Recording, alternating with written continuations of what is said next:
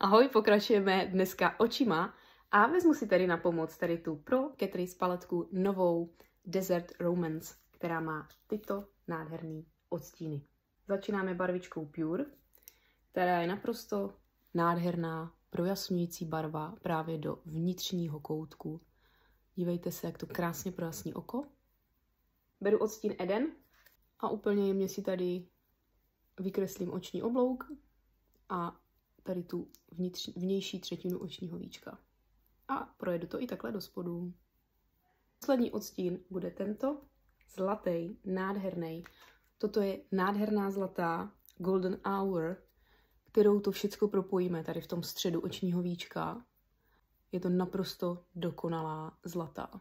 Wonder Lux Volume Mascara od Erimelu. Jak vypadá na očích? Jdeme na to. Takže takhle vypadá.